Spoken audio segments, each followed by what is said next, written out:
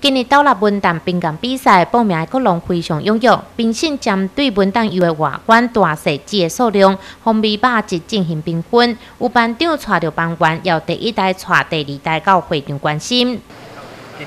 第二摆安尼，嘿，第二摆经验安尼，啊，志在参加啦，不在得奖安尼。啊，捌着过？嘿，要毋捌，要毋捌。要，就是感觉感觉比赛爱足用心的安尼。嗯。你们参加比赛做啥准备？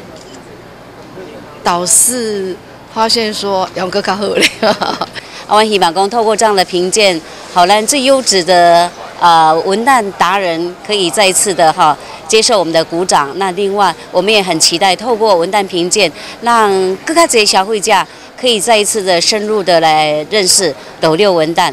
多处担任评审局职能的家己大学教授李栋才表示，今年参加冰鉴的本汤优，虽然因为风台关系有一点仔受到影响，不过品质拢达到水准，甜度大约二十一度到十三度之间。今年我们都晓得八月八号的时候有风灾，好，那造成了相当多的损失。可是呢，由这一次的这种比赛看来啊，整个这个果实的外观还没有什么受到影响，这个是。啊，令我们觉得有一点压抑的地方。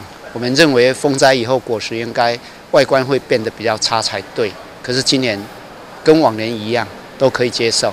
今日到了文旦游冰港比赛，副馆长张宏鼎也特别真往关心，除了肯定主办单位的用心，也推销在地有机农产。可以借由这个评鉴呢，能够让我们的这些幼农哈，他们在这个呃未来，在不管是在技术的研发啦，或者是说在种的这个品质的这个顾及，或者是安全的部分哈，都可以再更尽力、更精进。到了本档今年宾港升级，第顶奖由农民蔡金良得奖，另外也有头顶、优顶以及立位总共二十六名。宾港比赛结束了后，到了市公所将会伫文旦在活动举办等收。